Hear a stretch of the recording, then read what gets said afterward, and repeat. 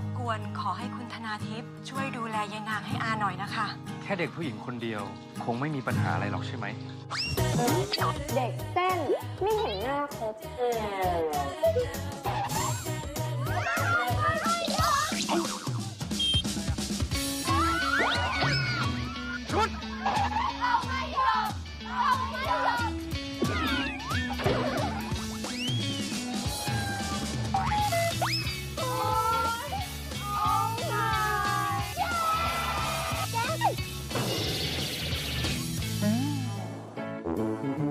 อเพื่อน ฉันทำได้ทุกอย่าง ถ้าไม่ไหวก็ออกไป คนอย่างนาง ไม่เคยยอมแพ้เลย นางอาย เร็วๆนี้